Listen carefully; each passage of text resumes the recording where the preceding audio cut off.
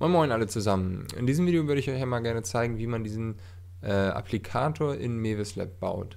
Dazu müssen wir uns einmal klar machen, wie sieht dieser Applikator aus. Er ist aus zwei Teilen zusammengesetzt. Einmal das blaue, das ist der äh, Schaft, das ist jetzt ein Zylinder sozusagen und oben drauf gesetzt ist in Rot hier in diesem Fall ein Kegel, das ist die Spitze des Applikators. Also müssen wir irgendwie aus zwei Teilen zusammen das Ganze bauen.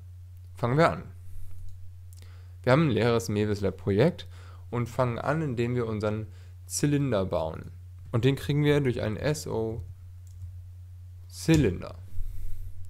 Ja, wir kennen das schon, wir haben hier so kleine ähm, Module, die wir reinziehen können. Und Doppelklick drauf kriegen wir die Größen. Wir wählen hier jetzt mal ähm, einen Radius von 1 und eine Höhe von 20 ähm, wunderbar. Und wenn man ähm, dann äh, müssen wollen wir uns das Ganze natürlich auch einmal anzeigen lassen. Ähm, und das kriegen wir hin mit einem SO oh, Separator. Ja, und wir kennen das schon immer von unten nach oben. Hier kommt ein Bild rein. So, und wenn wir einen Doppelklick auf den Separator machen, sehen wir auch schon unseren Stab unseren Zylinder oder Schaft des Applikators. Auch äh, erkennen wir, wenn wir zum Beispiel den Radius hier auf 3 stellen, wird der Ganze dicker. Wenn wir den Radius auf 1 lassen, lassen wir ihn auf 1. Mit zum Beispiel 10 würde ich ihn halt kürzer machen. Ich nehme mal die Werte aus dem Tutorial 1 und 20. So, wie geht es weiter? Jetzt wollen wir dem Ganzen noch ein Material geben, ähm, um dem eine Farbe zu verpassen sozusagen.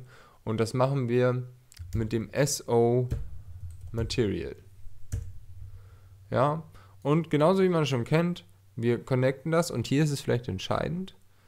Wir sehen hier schon entweder einen großen Punkt oder einen kleinen, ja. Wenn wir den großen wählen, wird der andere disconnected.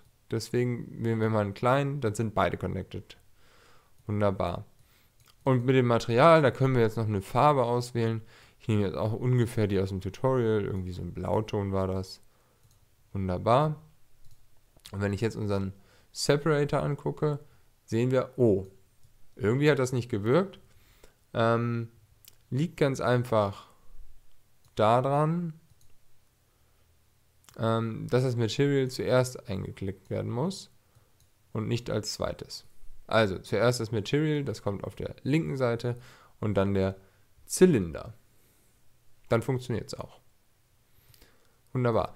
Jetzt fehlt uns noch, wir haben also den, ich ziehe das mal alles so ein bisschen nach unten, äh, den blauen Schaft. Jetzt fehlt uns natürlich noch dieses kegelförmige, ja, die kegelförmige Spitze und das ist ein SO-Cone.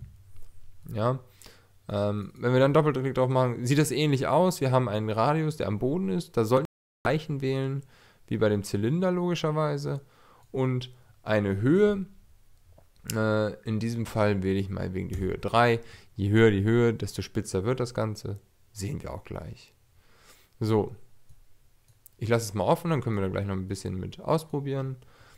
Und ähm, das Ganze würde ich natürlich auch wieder in einen Separator packen, sodass ich das erkenne, was das eigentlich geworden ist. So, und sehe, da ist meine Spitze. Wunderbar.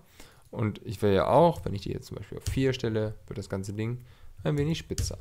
Ich lasse sie mal auf 3, wie gesagt, nachvollziehbar aus dem Tutorial. Und das gleiche, was wir jetzt eben gemacht haben, ich schiebe den schon mal hier rüber.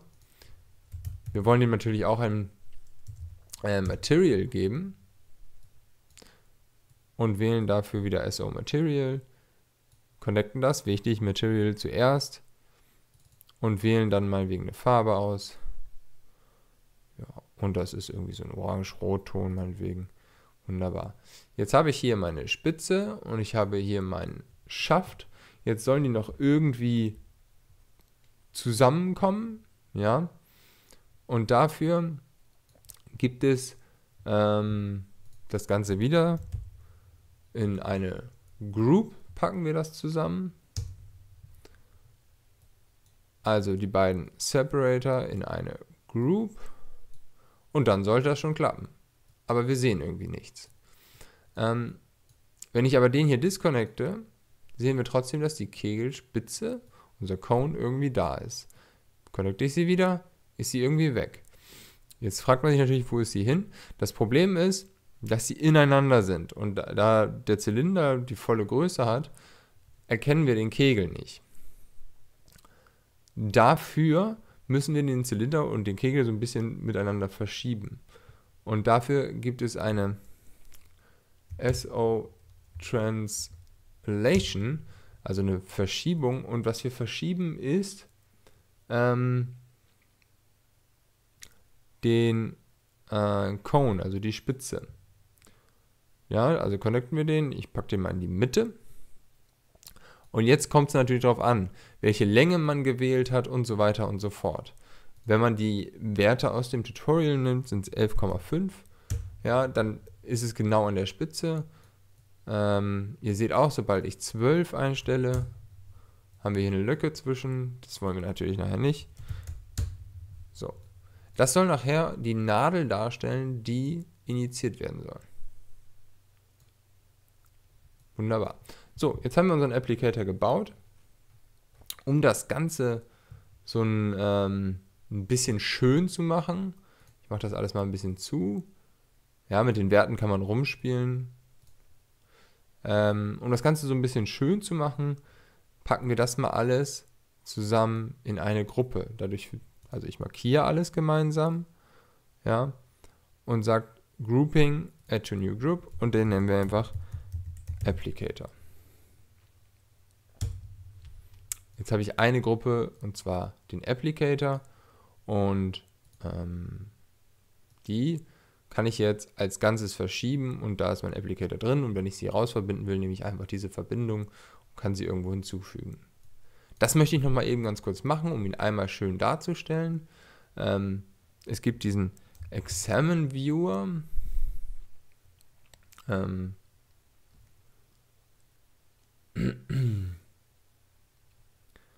äh, Examine, ja, wo ist er denn? Moment.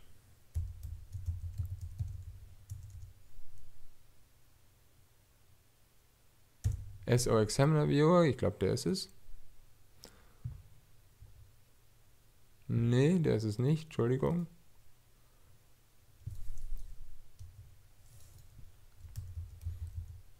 Der ist es. Der SO Examiner Viewer. Da verbinde ich es mal mit. Jetzt sehe ich, hier ist es drin. Das ist ja erstmal nicht anders aus als in der Group. Aber ich habe den großen Vorteil, dass ich hier noch einen Hintergrund hinzufügen kann. Den SO Background. Und den füge ich einfach hinzu. Und jetzt, ich lasse das mal offen, damit wir sehen, was der eigentliche Unterschied ist. Hier ist nur unser Applicator. Wenn ich jetzt unseren Background noch hinzufüge, sieht das alles ein bisschen schöner aus, hat einen Verlauf. Und wir können es besser erkennen und dieses 3D-Modeling wird ein bisschen deutlicher. Okay, wunderbar. An dieser Stelle haben wir unseren Applicator gebaut und im nächsten Video geht es weiter.